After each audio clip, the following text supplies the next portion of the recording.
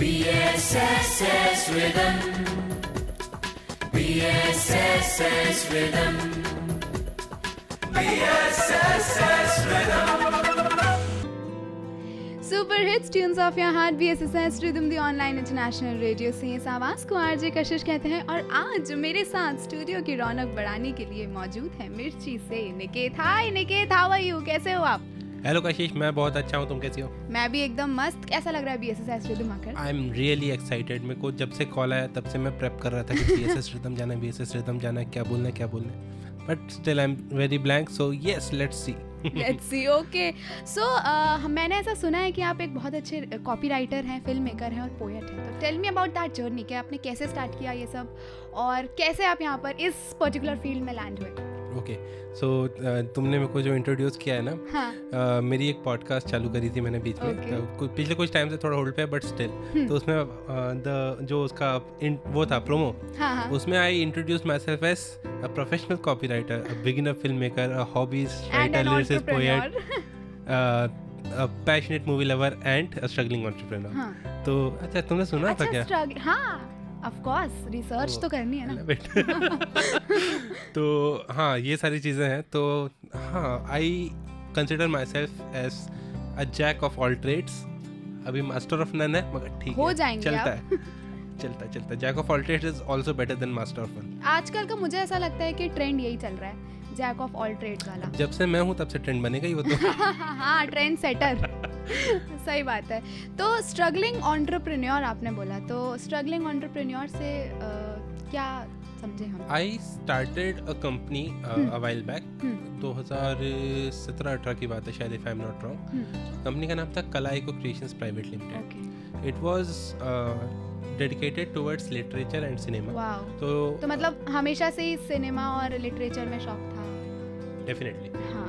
Definitely तो कलाइको के साथ ये हुआ कि uh, we published a book we were basically book publishers and content facilitators hmm, कि भैया जो भी क्रिएटर्स वगैरह हैं हम उनको सहायता करेंगे टू क्रिएट द कंटेंट मगर दिक्कत वाली बात यह है कि क्योंकि ऑलरेडी हमारा बिज़नेस दिमाग नहीं था तो उतना ज़्यादा प्रॉफिटेबल अभी तक नहीं, नहीं है वो चीज़। हम्म, तो उस कारण से स्ट्रगलिंग वाला part hmm. But yes I am working towards it and hopefully हाँ we should hope for the best और मुझे ऐसा लगता है कि एक दिन ये बहुत बड़ी कंपनी बनेगी। बहुत बड़ी तो नहीं मगर हाँ बहुत सारे लोगों को मदद कर पाए हाँ that is your motto very nice very nice और आप जैसे मिर्ची में अ, काम करते हैं मिर्ची सुकृति के साथ और बहुत सारी बार हमने आपको ऑन एयर सुना है तो एक ऐसा एक्सपीरियंस बताइए जो एकदम यादगार था या बहुत फनी एक्सपीरियंस हो सकता है या बहुत मोटिवेटिंग एक्सपीरियंस हो सकता है बट कुछ ऐसा एक्सपीरियंस जो बहुत ही एकदम लाइफ चेंजिंग और बहुत ही यादगार मोमेंट था। लाइफ चेंजिंग और यादगार। हम्म, I guess one of them can be के अभी पिछले कुछ टाइम पहले हाँ। I wrote a promo. जो कि पूरे जोन में चला था। Zone means Madhya Pradesh Chhattisgarh and Gujarat.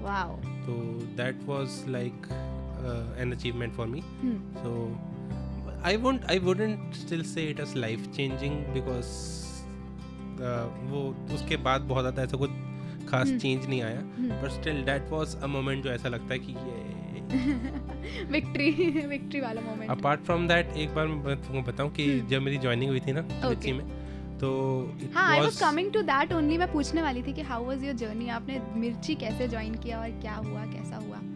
चलो पहले जर्नी के बाद हाँ। सो 2012 में मैंने अपना स्कूलिंग कंप्लीट किया।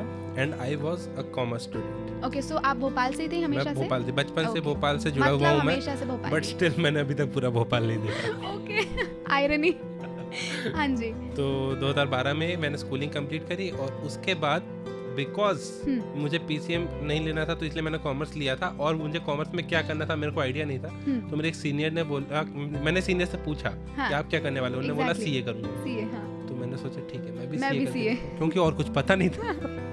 हाँ वही होता है ना 11 12 में कॉमर्स मतलब सीए एग्जैक्टली तो सीए के अंदर हम घुसे। हम्म। अब एक बहुत बड़ी कोचिंग है भोपाल की। नहीं नाम नहीं लेते भैया जब तक पैसे नहीं मिले तब तक नाम नहीं लेना किसी कंपनी का। हाँ। कलाई को का ले सकते हो।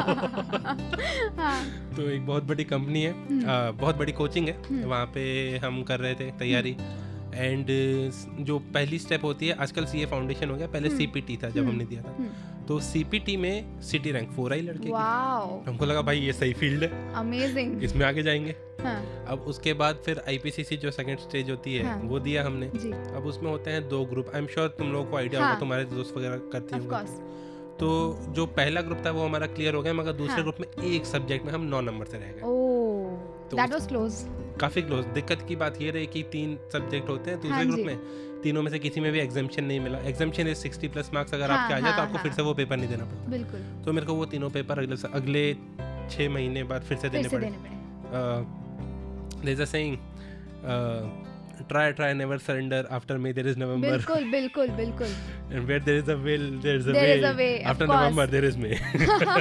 That was तो ये बहुत चलता है हाँ। सी स्टूडेंट्स में। हम्म, एंड बट नवंबर में दिया नहीं हुआ अगली मई 2014 में दिया नहीं हुआ नवंबर 2014 में दिया नहीं हुआ हम्म। मई 2015 में दिया नहीं हुआ और उसके बाद थोड़ा सा ऐसा सा लगा कि यार नहीं जम रहा है यहाँ पे। हाँ। कोइंसिडेंटली उसी टाइम के आसपास जब नवंबर 2015 आने हाँ वाला था उसके पहले आ गई तमाशा।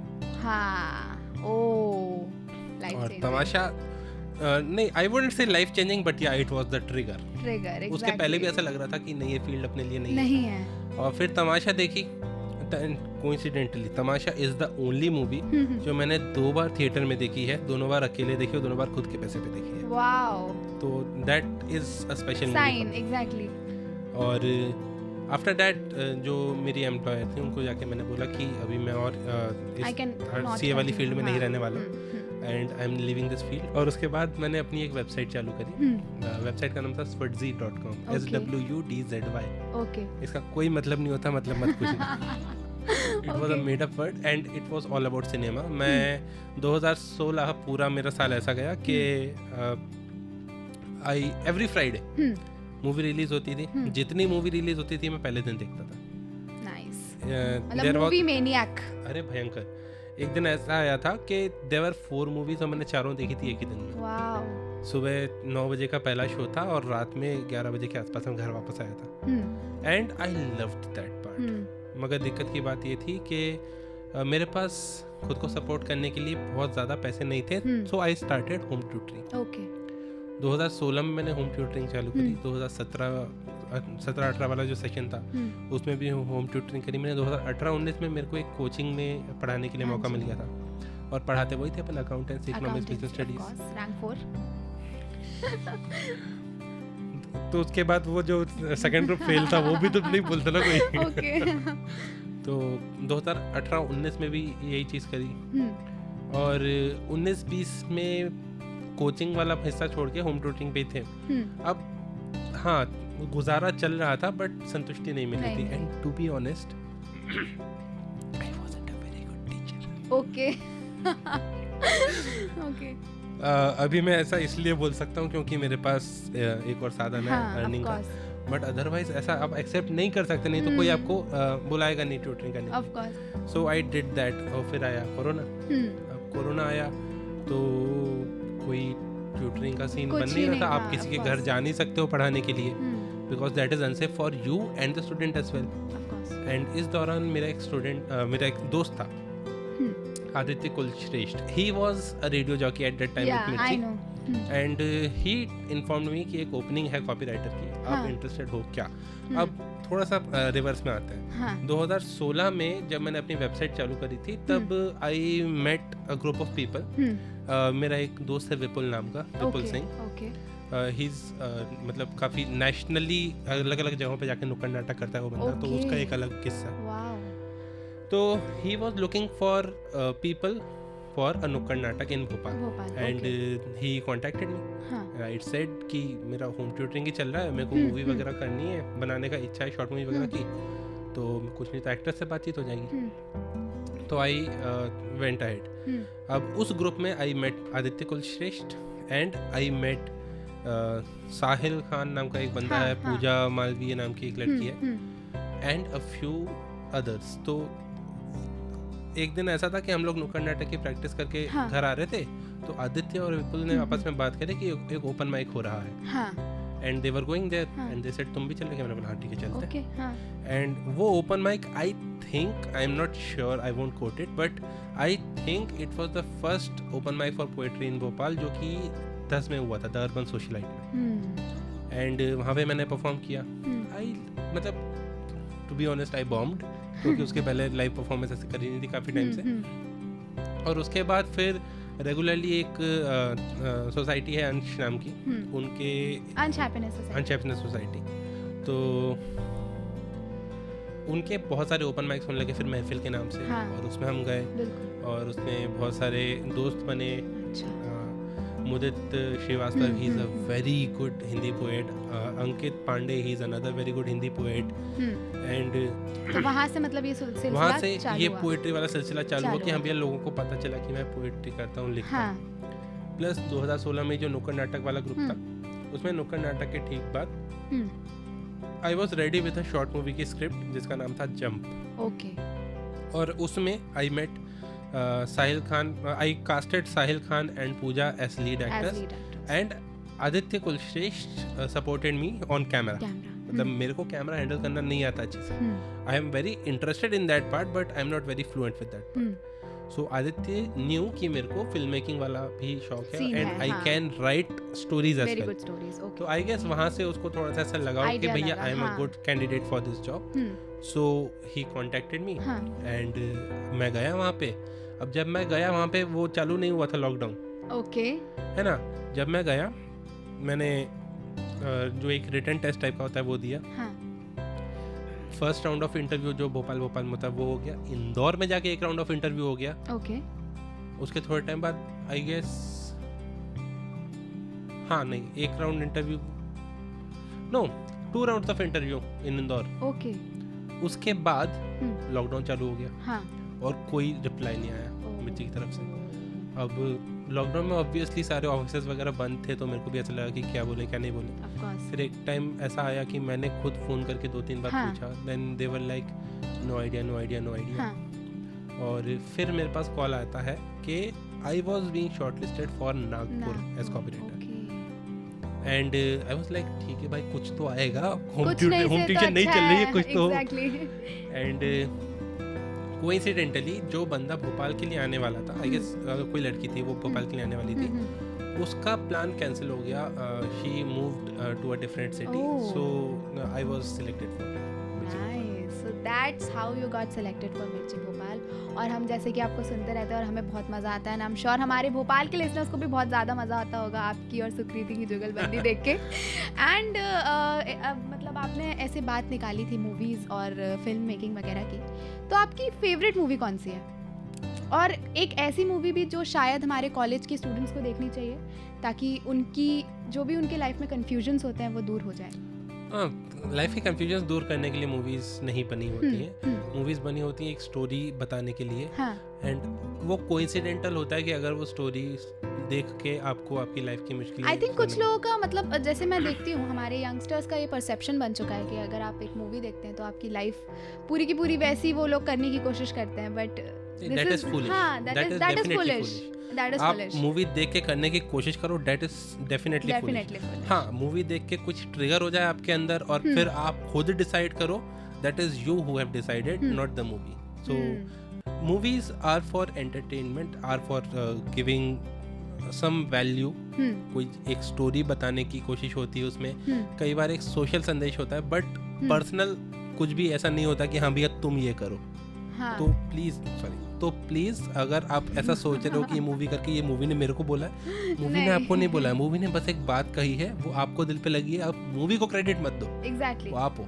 एग्जैक्टली एग्जैक्टली तो आपकी फेवरेट मूवी कौन सी है? हाँ coming back to the question favourite movie यार I find it very hard to point out favourite movie हाँ being a film maker I can expect that मतलब they are not even my babies but I still love them equally okay तो but still अगर मैं एक आधी अगर मैं आपको चॉइस दूँ तो फिर। हाँ तुम अगर मेरे को ऑप्शन दो तो मैं उसमें से बता सकता हूँ ओके okay, तमाशा ये जवानी है दीवानी एंड देखो I am a Ranbir Kapoor fan तो all Ranbir Kapoor Rockstar so इन तीनों में आप बताएँ। Rockstar was a better movie out of the three uh, Tamasha is more appealing to me okay okay Rockstar is a better movie क्योंकि वो अच्छी होने के साथ साथ ज़्यादा ऑडियंस से कनेक्ट कर पाए। Exactly and that is something that not a lot of movies can do तो इसलिए I prefer Rockstar okay okay so एक कोई ऐसी वैल्यूएबल बात जो आप हमारे बी के फ्रेशर्स को कहना चाहें?